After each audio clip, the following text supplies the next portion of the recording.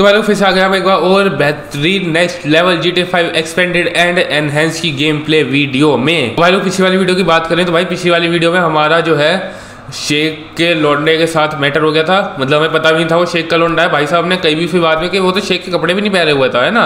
वो भाई coat pant में था बंदा और हमने उसे मैनेजर समझ के और ठोक दिया और भाई वो असली में निकला शेख का लौंडा। लेकिन कोई बात नहीं छोटे मोटे खतरे चलते रहते अपने ऊपर।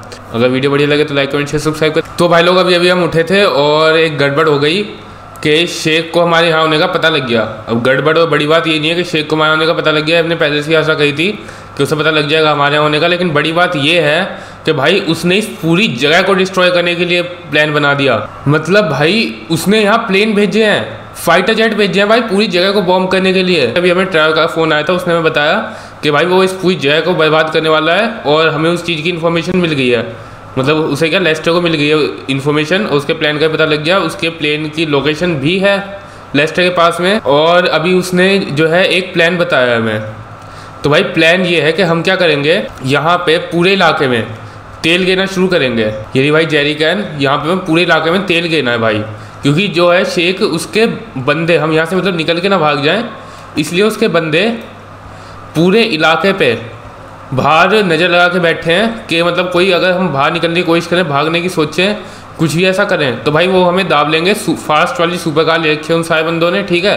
अगर हम उड़ के जाने की कोशिश करेंगे यहाँ से हेलीकॉप्टर हेलीकॉप्टर लेके भागेंगे तो उनके पास काफ़ी तगड़े तगड़े आरपीजी वगैरह हैं, वो भाई हमें आरपीजी से मार देंगे। तो ट्रैवल ने हमारे से कही है कि तुम्हें काम करो, इस पूरे इलाके में तेल गेरो और तेल घेर के फिर आग लगा दो, मेरा सिग्नल मिलने पर है ना? और फिर क्या कहते हैं, इस पूरे इलाके में स्मोक ग्रेनेड गेरना जिससे कि सारे में धुआँ धुआँ हो जाए। और फिर हमारा सिग्नल मिलने पे तुम क्या करना प्लेन लेके और मतलब हेलीकॉप्टर खड़ा है बाहर, उसे लेके यहाँ से निकल जाना। तो इस तरीके से हम बच सकते हैं मतलब चांस है हमारे बचने का। साथ के साथ भाई, शेख जो है, अपने एक बंदे को भेजेगा हमारे हेलीकॉप्टर उठाने के लिए। हमले से जस्ट पहले उनका एक बंदा यहाँ पे आएगा, हमारे हेलीकॉप्टर उठाने। तो हम क्या है, उसे मार के और भाई, उनके बंदों को ये सिग्नल दे देंगे मतलब उसके जो डिवाइस होगा, उससे कह देंगे कि अभी हेलीकॉप्टर जो है, यहाँ धुएँ की वजह से उड़ नहीं पा रहा, कोई दिक्कत आ गई हेलीकॉप्टर के अंदर और मैं उड़ाने की कोशिश कर रहा हूँ उसे। और जैसे ही हमला होने वाला होगा, क्योंकि लोकेशन हमें पता है, शेख के प्लेन्स की तो जैसे ही हमला होने वाला होगा, हम क्या करेंगे भाई? अपना हेलीकॉप्टर उठा के और तुरंत भाग जाएँगे। उन्हें लगेगा कि उनका बंदा ही हेलीकॉप्टर लेके भाग गया और हमें कुछ अता पता नहीं है। लेकिन भाई इसलिए हम क्या कहते हैं? खेल जाएँगे। और अभी हमने अपने कमरे में तेल की धार से खींच दिया है। भाई, सारे में धार धार सी बना देंगे, जिससे कि एक जगह से हम मोल्टो डालें और पूरे में आग लग जाए। जिससे कि उन्हें भाई, ऐसा लगेगा, ऐसा करने पे जैसे कि आग नेचुरली लग होगी और उससे ज़्यादा धुआँ निकल रहा है। और फिर जो है उन्हें हमारे ऊपर शक नहीं होने का। और जितने उन्हें कुछ समझ भी आएगा, इतने तो भाई हम भाग भूग चुके होंगे प्लेन यहाँ पहुँच चुके होंगे उनके तो उनके लिए कुछ करना भी नियरली इम्पॉसिबल हो जाएगा। प्लेन्स को रोकना लोकेशन वगैरह चेंज करना। और जब तक उन्हें यह पता लगेगा कि हम अपना हेलीकॉप्टर चुरा के भागे असली में, इतने तो भाई हम उनके आरपीजी की रेंज से भी दूर निकल जाएँगे। और भाई हमारे तेल गिरने का शेख के बंदों को इससे नहीं पता लगने का, क्योंकि वो लोग एग्जिट्स पे नज़र जमाए बैठे हैं। उन्हें ये नहीं पता कि हाँ होटल के अंदर क्या चल रहा है। उस चीज़ पर उनका ज़्यादा ध्यान नहीं है। वो एग्जिट्स पे एकदम भाई, चील की तरह नज़र जमा के बैठे अपनी सुपर का ऊपर का तैयार करके एकदम। भाई साहब, यहाँ पे जो है कोई भी बंदा आसपास दिख भी नहीं रहा। जबकि सारे बंदे भाई नॉर्मल लोगों की शक्ल में छुप के बैठे हुए हैं। और हम क्या है भाई हेलीकॉप्टर के आसपास नहीं गिरने के तेल। क्योंकि भाई हेलीकॉप्टर के पास तेल गया तो हेलीकॉप्टर में भी आग लग सकती है। भाई बंदे यहाँ चिल्ला रहे हैं, ठीक है? लेकिन हमने कह दिया कि यहाँ पे कुछ ऐसा ऐसी वैसी बात नहीं है। मेंटेनेंस का काम चल रहा है। ठीक है भाई साहब, हम पार्किंग तक ले आए हैं। तेल की लाइन खींचते खींचते, और यहाँ पे हमें इसे ज़्यादा लंबा खींचने की ज़रूरत नहीं है। और क्या कहते हैं, यहाँ पे पूरी पार्किंग कवर्ड है तो किसी को बाहर से चमकने का भी नहीं कि हमने जान के आग लगाई है। इसे फेंकते एकदम से आग लग जाएगी, लेकिन अभी हम इसे नहीं फेंकने वाले, क्योंकि हमें सिग्नल का इंतज़ार करना है ट्रैवल ठीक है भाई लोग तो आ गया ट्रैवल का सिग्नल, और क्या कहते हैं, भाई कह देते हैं, स्वाहा। इतने महँगे होटल को, स्वाहा। ठीक है भाई साहब पूरे उसमें आग लग होगी, अब हमें बस स्मोक ग्रेनेड फेंकने हैं। और हम क्या कहते हैं, यहाँ पे स्मोक का कवर ले, लेके जब फेंकेंगे स्मोक ग्रेनेड स्मोक के अंदर से इधर उधर फेंकते चलेंगे स्मोक जिससे कि किसी को शक ना हो। ये लगे सबको कि हाँ भैया, आग लगी हुई है, उसके धुएँ में से ही और आग बढ़ी जा रही है और एक्स्ट्रा धुआँ निकले जा रहा है। और भाई, तुम्हें यहाँ पे दिख नहीं रहा होगा इतना ज़्यादा स्मोक है ना? लेकिन ये क्या कहते हैं, काफ़ी सारा स्मोक हो रखा है यहाँ। दूर से देखोगे तो काफ़ी सारा स्मोक दिखेगा आसपास। आसपास से इतना स्मोक नहीं दिख रहा। दूर से भाई ये फटी है गाड़ी। भाई सारी गाड़ी फटनी है, अभी ऐसे करके। हेलीकॉप्टर के आसपास बस हमें स्मोक ग्रेनेड फेंकने देखो भाई। हो गया धीरे धीरे करके पूरे में धुआँ ही धुआँ। और लोगों में भी भगदड़ मच गई कि एकदम से इतनी आग कैसे लग गई, धुआँ कैसे हो गया। ठीक है भाई साहब, ये बंदा आया है यहाँ पे। ये क्या कहते हैं, हमारे हेलीकॉप्टर को चुराने आया है। लेकिन इसे धुएँ की वजह से हमें पता नहीं लगा। ले बेटा। ठीक है भाई, लोग तो अभी हमने उसके दोस्तों को बोल दिया कि हेलीकॉप्टर उड़ नहीं पा रहा। किसी दिक्कत की वजह से और क्या कहते हैं, ये कोशिश कर रहा है हेलीकॉप्टर को उड़ाने की। और हम बैठ जाते हैं इसकी जगह हेलीकॉप्टर के अंदर। अभी उड़ना नहीं है इसे लेके, ये सामने मीटर वीटर हैं सारे। रडार नहीं है इसके अंदर जहाँ तक इतनी अच्छी। क्योंकि ये वैसे बस पैसेंजर को लेकर उड़ने का है। ठीक है भाई साहब, ये फाइनल सिग्नल मिल चुका है ट्रैवल का और उड़ चलते हैं हेलीकॉप्टर को लेकर क्योंकि भाई प्लेन बिल्कुल पास में ही है, पहुँचने वाले हैं। और भाई साहब हमारे वहाँ से निकलते ही क्या धमाक बम फूट रहे हैं वहाँ। ओ भाई साहब, देखो यार पीछे क्या बम फूट रहे हैं, धमाधम करके। मैं भाई आगे लेके चलता हूँ अपना हेलीकॉप्टर, ठीक है? अरे यार, आगे चल, आगे आगे। भाई, पूरे दिवाली बना दिया प्लेनों ने वहाँ पे, और अभी तक फटे जा रहे हैं बम। हवा का भी सर्कुलेशन ख़राब हो गया भाई। अभी तक इतने सारे बम मार दिया प्लेनों ने वहाँ, देखो। पूरी दिवाली मचा दी। ठीक है भाई साहब यार, अभी हम काफ़ी दूर निकल चुके हैं, और अभी हमें जाना है माउंट चिलियार्ड की हाईएस्ट पीक पे। अब सबसे मुश्किल काम आने वाला है, क्योंकि अब क्या है, हमें वहाँ जाके और भाई अपने हेलीकॉप्टर से कूदना है वही बिना पैराशूट के। जिससे कि ऐसा लगे कि हमारा हेलीकॉप्टर जो है वो क्रैश हो गया। क्योंकि भाई उन्हें इन्फॉर्मेशन पहुँच जाएगी वो बंदे में ढूँढने लगेंगे ठीक है? तो अगर हम पैराशूट पहन के उतरे पैराशूट पहन के कूदे तो भाई दिक्कत हो जाएगी उन्हें पता लग जाएगा कि हम कूद चुके हैं अपने हेलीकॉप्टर से हम बच गए सेफली जबकि हमें ऐसा नहीं लगने देना हमें ऐसा लगने देना जैसे कि हेलीकॉप्टर क्रैश हुआ है। चांस काफ़ी कम है लेकिन भाई करना तो पड़ेगा अब रिस्क लेना पड़ेगा भाई शेख के साथ पंगा लिया। ठीक है भाई साहब, ये जो जगह तुम देख रहे हो ना, यहाँ पे, इस लोकेशन पे से करना है हमें ये स्टंट तो सबसे पहले हमें यहाँ पे अपना हेलीकॉप्टर लेके जाना पड़ेगा एकदम पास में। और ये चीज़ अच्छी है, आज हवा नहीं चल रही बिल्कुल भी, नहीं तो और मुसीबत हो जाती ठीक है? हल्का सा ऊपर उठाएँगे और यहाँ से कूद जाते हैं। ओ भाई भाई भाई भाई। ठीक है हेलीकॉप्टर पलट चुका पलटता हुआ जा रहा है। भाई ये तो यहीं अटक गया। अब क्या करूँ? कैसा फुदू नाम हुआ हमारा? कोई चीज़ फेंक भी नहीं पाए? एक काम करता हूँ इसे आरपीजी मार के नीचे फेंक देता हूँ। इसका ठीक है भाई साहब यहाँ से जा चुका है हेलीकॉप्टर नीचे और पता नहीं भाई कहाँ गया होगा। ओ भाई मैं थोड़ा सा पीछे रहता हूँ मैं नीचे गिर जाऊँ। लैंडिंग सही रहेगी अपनी नहीं तो भाई गेम ओवर हो जाता अभी। एकदम रपटना सा पहाड़ है भाई हल्का सा पैर रपटा ना सीधा धड़ाम नीचे। भाई फुल नीचे जाएँगे एकदम इतने ऊँचे माउंट चिलियाड के भाई सबसे ऊँचा पहाड़ वैसे है पूरे लॉस सेंटोस का। ठीक है, और इसके ऊपर भाई कहाँ खड़े कर रखे है? बाइक वैसे यहाँ पे खड़ी करनी ज़रूरी भी थी क्योंकि ये एक तरह से बहुत ज़्यादा सीक्रेट बाइक है। ये क्या कहते हैं, अगर शेख के हाथ लग गया, किसी और ऐसे बंदे के हाथ लग गई, क्योंकि इसके अंदर वो लोकेशन है जहाँ पे हमें जाकर भी छुपना है। तो भाई बहुत ज़्यादा खतरे में आ जाएँगे हम भी, और भाई क्या कहते हैं, वो लोकेशन भी, और काफ़ी गड़बड़ हो जाएगी, है ना? बाइक यहाँ पे चलाने के लिए अच्छी है, गाड़ी तो भाई चल ही सकती है ऐसे टेरेन पे। बाइक चल तो जाती है, लेकिन ओ भाई देखो, ऐसे अगर हल्की सी भी रपट गई ना बाइक तो बड़ी दिक्कत है। और भाई साहब यहाँ पे ये एक मैप है। तो हमें जो है लोकेशन उसके अंदर आधी मिली थी। उसमें कहा था इस लोकेशन पे जाओ और इस मैप के अंदर एक वो है मतलब आ, तरीका ट्रिक उसका यूज़ करके और यहाँ पे लोकेशन ढूंढ लो इस मैप के अंदर। यहाँ पे रुकना है भाई साहब हमें। इस अप हिल हाइट पे। और यहाँ लगाता हूँ मैं बाइक भाई इस बाइक को देख के ही हमारे पास हेल्प आएगी। और यहाँ से मैं भी लपट रहा हूँ बाइक की भाई। मान गया बाइक को। और हमें यहाँ से भी आगे जाना है, पैदल आगे जाके छुपना है। चढ़ाई देखो भाई कैसी है। ये देखो। बंदा भाई ऐसे खड़ा है, ऐसे टेढ़ा होके। भाई साहब, यहाँ से पूरा लॉस सेंटोस दिख रहा है यार, इतनी तकड़ी चढ़ाई है। देखो, इस जगह पे रहना है, हमें बैठना है इस जगह तो ठीक है भाई लोग, अभी रात हो गई और सिम्योन जो है हमारे इसलिए कॉनिस है गमेरा लाया है। भाई बड़ी बेहतरीन सी कार है, तुम्हें यहाँ पे दिख नहीं होगी अंधेरे में? तो भाई पहाड़ है, पूरे में अंधेरा अंधेरा, लाइट वाइट कुछ है नहीं। और यहाँ पे भाई गाड़ी में बड़ी मंदी मंदी चलाने वाला क्योंकि सुपर कार वैसे है ये।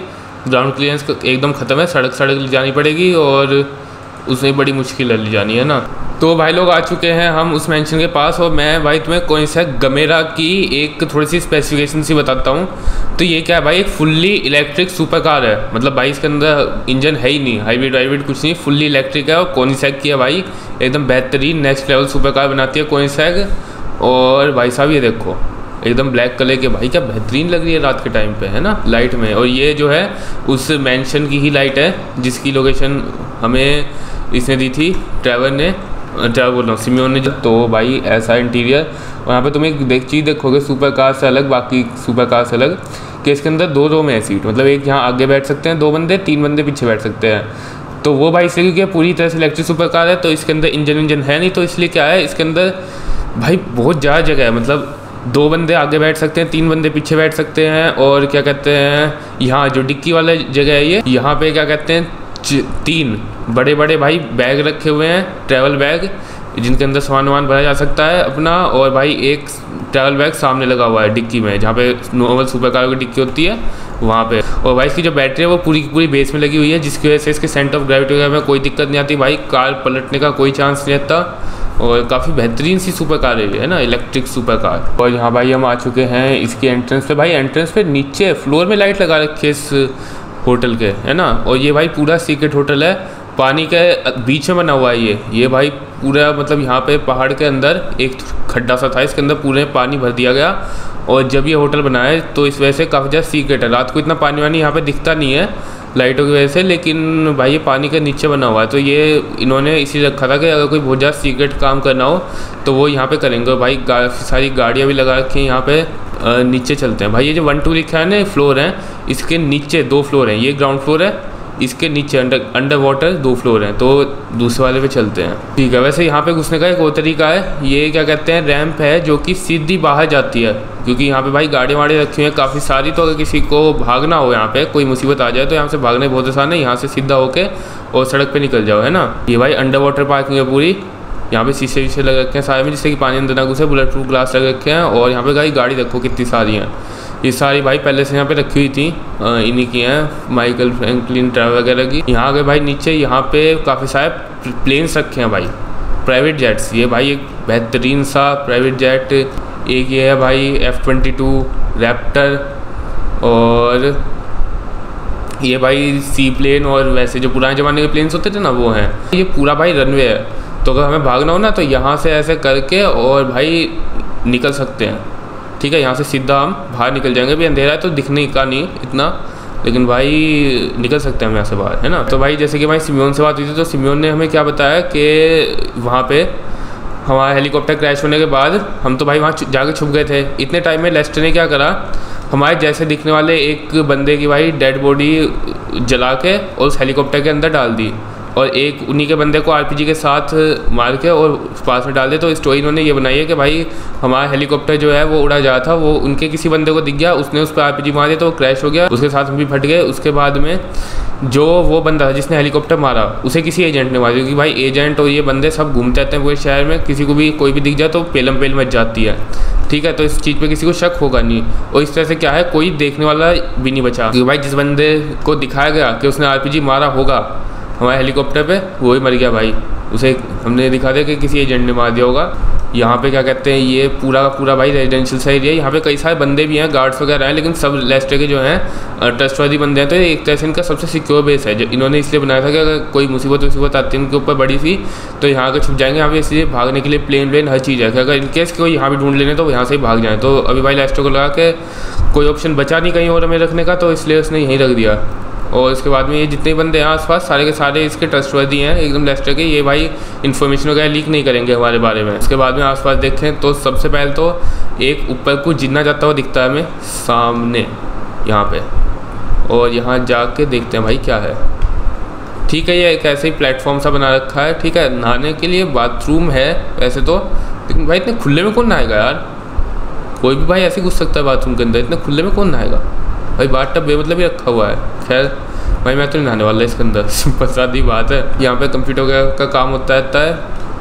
लोग सीसीटीवी का फुटेज वगैरह देखते रहते हैं, वो सब करते रहते हैं। ये बार है यहाँ पे। ये जगह मीटिंग करने के लिए। यहाँ भाई, क्या कहते हैं, दो बेड यहाँ पे लगे हुए हैं। तो भाई, यहाँ पे बेड वेड इसलिए लग रखे हैं कि अगर भाई, सारे बंदों पे भी खतरा है तो सारे बंदे भी यहाँ पे आ सके रह सकते हैं। तो सबके लिए बेड वेड पड़े हैं। ठीक है, वहाँ पे सोफ़ा पड़ा है बैठने बैठने का इलाका है पूरा बेसिकली और यहाँ पे पूल लग रखा है, जो वो नहीं होता पूल टेबल गेम होता है, उसे खेलने के लिए। ठीक है, यहाँ पे भाई बॉस का पर्सनल ऑफ़िस है, ठीक है बॉस भाई यहाँ पे रहता है तो जब लेस्टर बॉस रहता है यहाँ पे तो लेस्टर बॉस होता है और माइकल फ्रैंकलिन ट्रैवल में से कोई रहता है तो वो बॉस होता है सिमियोन वगैरह रहते हैं तो वो बॉस होते हैं, लेकिन अभी सिर्फ़ यहाँ पे हमें तो इससे हम ही। बॉस हैं यहाँ का बिग बॉस और क्या कहते हैं, यहाँ पे इसके पीछे भाई बॉस का पर्सनल सोने वाला कमरा है।